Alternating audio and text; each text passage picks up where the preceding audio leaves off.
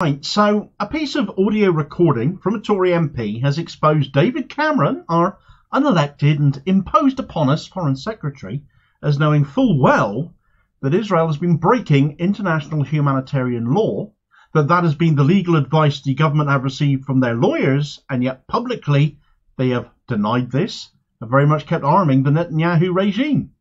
That should be the end of Cameron then. No questions, no quibbles that this has come out because if that was the legal advice given, and we do only have this recording to go by at this moment in time,